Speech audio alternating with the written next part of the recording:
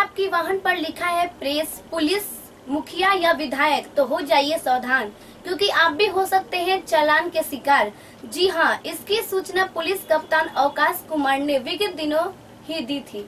इसको लेकर प्रचार प्रसार भी कराए गए थे, लेकिन फिर भी कुछ लोग मनमानी करते हुए नज़र आए और वाहन पर से पुलिस और प्रेस मिटाना भूल गए। इसका उदाहरण उस वक्त देखने को मिला, जिस वक्त शिवगंज में वाहन चेकिंग अभियान चलाया गया था।